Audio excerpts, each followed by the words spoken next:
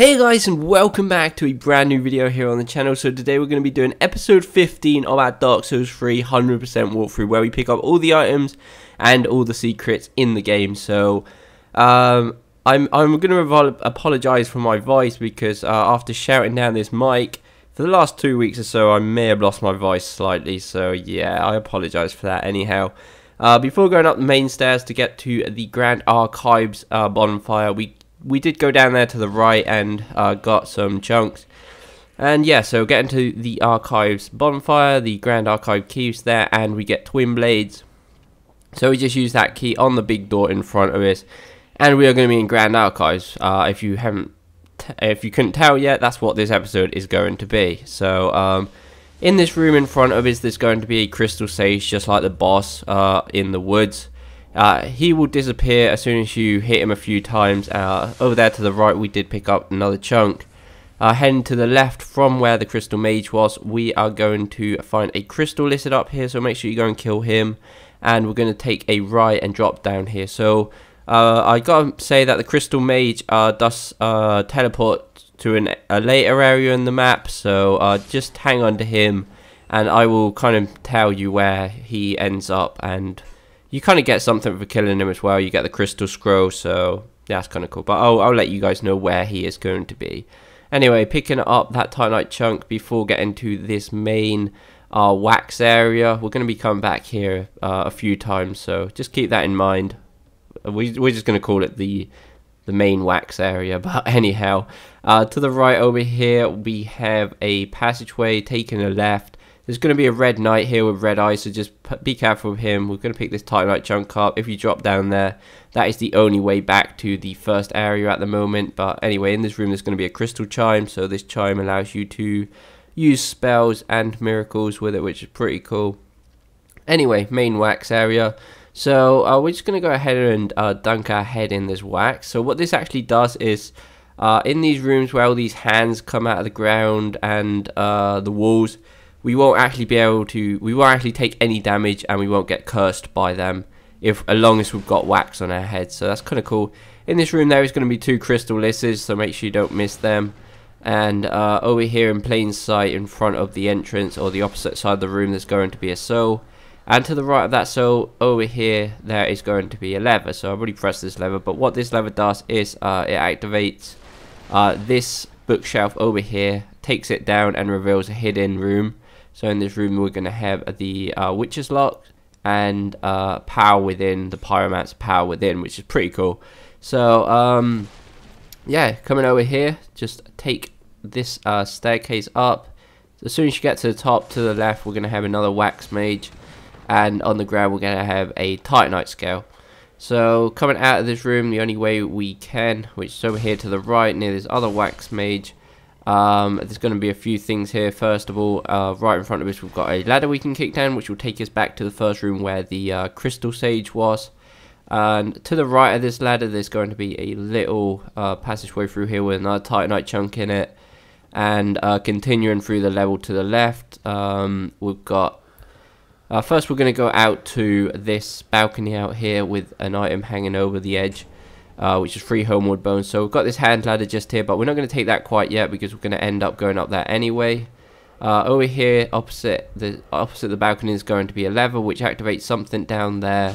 One of the bookshelves down near uh, the main wax area, but we're going to be picking that up in a second. Heading up these stairs to the right, with another tight Titanite chunk, and uh, make sure you don't forget to stick your head in this wax because there's going to be a lot of those hand thingies around here so yeah anyway uh, turning back on ourselves again we're going to go up the left staircase and stick to the left one more time and uh, just hop off this broken circle bit here uh, and here we can actually roll off or jump off I recommend jumping just in case you don't make it with a roll but I believe you can make it with a roll uh, jump onto this part which is just above the first area to get the Avelyn. Oh yeah. Anyway, from here, there is no other way we can go, so we just want to hop down to the first area where the Crystal Sage was, make our way all the back, all, all the way back up to near where the um, main wax area was. So we're going to go to the right here where we picked uh, an item up before, and uh, this is the bookshelf that that lever just uh, moved. So in here we get a titanite slab which is also pretty cool. So yeah there's so much really cool items in this place. So yeah uh, anyway go back all the way back up the stairs but this time instead of sticking to the left to jump down we're going to stick to the right and come up some more stairs. To the left there we had the balcony we could get up by the hand ladder if we wanted to. And uh, oh, anyway over here in this corner there's going to be another titanite chunk. And over here pretty obvious uh, fake wall here with an Irithyll beast in it or whatever you want to call these guys uh, once we've defeated this guy he is going to give us the Outrider set which is a pretty cool set too and uh, there's only one more door we can go through behind the fake wall which is over here takes us to a dead end but we do get the uh, soul stream spell which is one of the more uh, powerful spells in the game so yeah, so just head out back the way we came, all the way out of the hidden kind of area. And this time we're just going to head left and continue through. Uh, so you can actually jump down here onto this little bridge, stair bridge, whatever you want to call it. But uh, taking this route will, will lead to the same way, but uh, getting a stone. So yeah, so uh, just head back and go to our right and over here there will be a red knight but there's not really much point this will be a way we can kind of come back from a later place. We can jump onto that uh, balcony out there. Anyway, before heading across the bridge or the stair bridge, whatever you want to call it, uh, press this lever to the right of it and it will open the bookshelf right next to it. And uh, the scholar ring, which uh, boosts our intelligence up, will be just there. So uh, coming back to this wax pool, which is the exact same one as the last, it is literally the last one we uh, stuck our head in, but it's just a bit of a shortcut back. Now we're just going to head across the bridge. Also mentioned here to the left we could jump down near the main wax area and kill a crystal lizard on top of the bookshelves, but I'm not going to be doing that anyway. And uh, above these stairs to the right, that's going to be our first major shortcut where we can press this and it will uh, lower a bookshelf in the first room where the uh, crystal sage was. So yeah, so we have a first pretty cool shortcut. There's quite a lot of shortcuts in this place, but yeah. Okay. So once we've done that, just head head up. Uh, this time we're going to go to the left of the staircase we just came up. Continue up the stairs. So in this room, there's going to be a lot of those hands that curse you. So I really recommend uh, having the the wax on your head.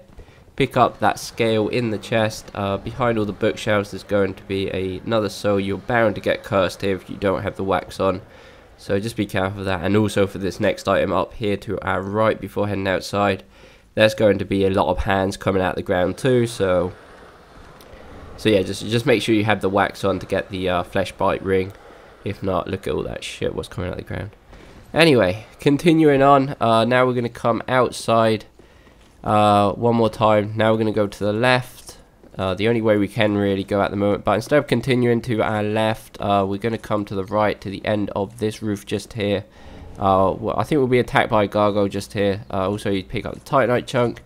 And uh, coming back on ourselves, sticking to the left where this sloped roof is, we can actually jump down here and pick this item up here. So to the left of this item, if we jump down, uh, we will be back at where that red-eyed knight was. Or the red, red-eyed knight, whatever you want to say.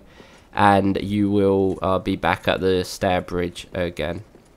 So yeah, so uh, coming along this path where all these enemies are, we're going to head to the end roof and uh, over here below this arc we can uh, jump down here and pick up this item which is going to be the one that you can see from the balcony. I think it's the first balcony where the hand ladder was. So that's how you get that item. So just uh, jump across to the balcony and uh, make your way all the way back up really because that's the only option we've got at the moment.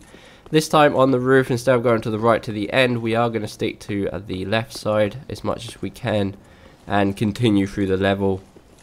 Uh, no items here at the moment. Take a left here at the end and there's going to be one item here. Uh, this balcony to our right, I believe you can, yeah, you can jump straight to it, but we're going to be getting there anyway a bit later on.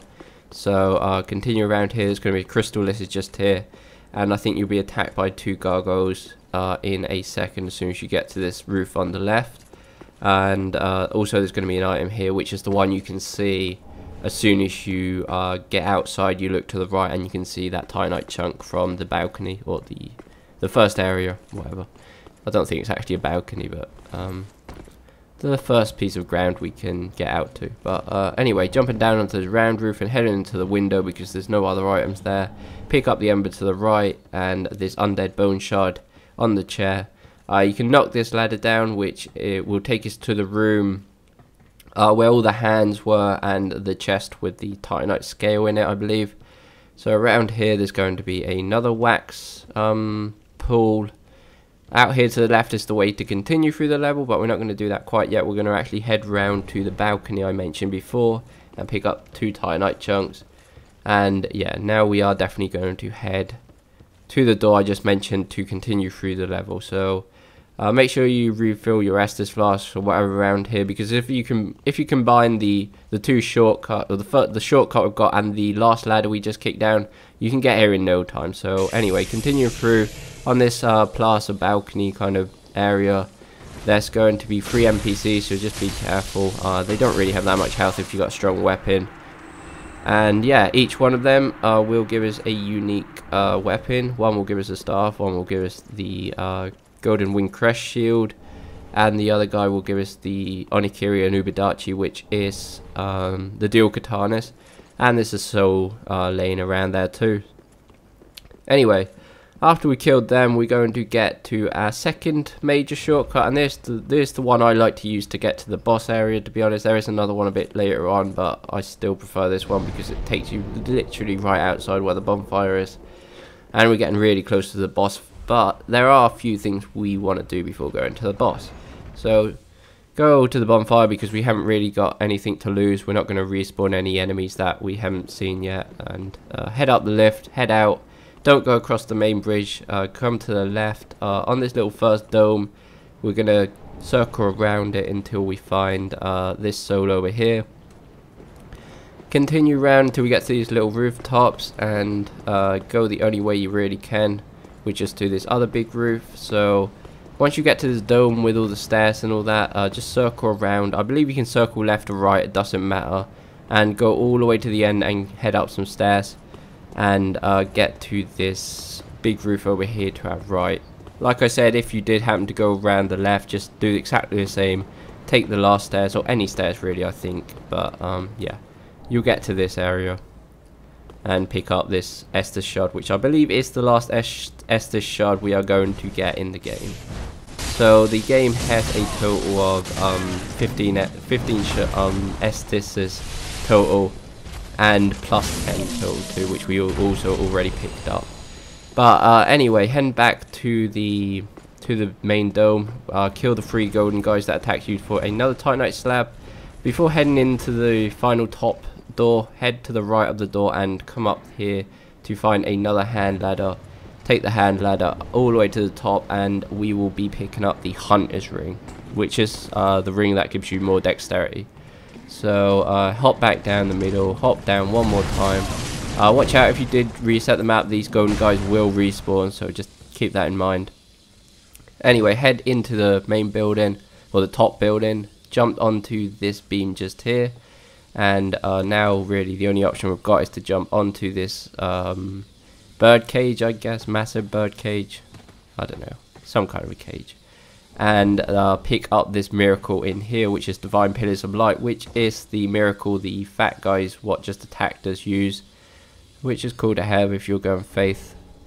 Uh, anyway uh, below the cage is going to be a blessed gem at one of the ends and uh, just be careful here you want to do this as quick as you can because this guy can knock you off pretty easily if you're not watching watching out for his spells so go ahead and kill him and the only option we've got at the moment is to to just take the hand ladder behind him and go back down to one of the earlier areas. Well, we're actually still just above one of the earlier areas, but and there's actually going to be two chests, one with Divine Blessing and um, one with two twink uh, three Twinkling Titanites. So yeah, so that's it for here. Now if we go over here to our left, we're actually going to drop down to uh, the room just before, uh, I think it's where we got the flesh bite ring from? Yeah, I think so. Yeah, and, and now we can just head back out to where the first time we headed out. So, anyway, um, head back or whatever you want to do and come to the main boss bridge where the uh, last shortcut was from the bonfire. Head up, now go all the way across the bridge. But before heading into the boss door, we're going to come to our right. And there's going to be another elevator here. So uh, this elevator will take you down to to the right of the boss from last episode, from Lothric Castle boss, just to the right. So remember this room, last episode I picked up an item just here, but I did forget to put in this chest. I don't know why I forgot that simple chest, but uh, sorry about that. We'll pick that up now anyway, guys. But um, before heading back up, we're actually going to step on the elevator, but we're going to get off a bit and discover that this has a second elevator just below it, which we can take to get to an even lower level. So down in this lower level, there's going to be one last Titanite slab we can get this episode. So I think that's three Titanite slabs this episode. That's pretty good to have three weapons at plus 10. But uh, yeah, so um, head all the way back up, and it's just time to fight the uh, boss. Once you kill him, get his soul like always, and this is going to be our fourth and final Lord of Cinder. So technically we can go and finish the game now, but I do want to do one last episode on this item walkthrough, uh, which is going to be Archdragon's Peak, which should be up later today or tomorrow. So yeah, guys. Uh, also, I want to mention that I finally got some t-shirts out. Um, I was I was actually planning to do some t-shirts on like 10k, but it went past so quick, and I'm almost on 20k now. So I, I guess it's better. Uh, if you want to go and check out some of my t-shirts, it'd be really cool uh, just to share these things with you guys. Uh, make sure you go and check it out. Links in the description. Remember, if you enjoyed this video, how it was helpful, please go like and subscribe. You can also follow me on Twitter, where I actually did a poll the other day of what weapon I should use on my first PvP video. So thanks for the people that voted that. I'll be recording that very soon. Uh, also, I'll be putting polls up there for all the PvP videos. So if you if you're interested in voting for what weapon I should be using, make sure you go and follow me on Twitter. And yeah, guys, We'll see you next episode.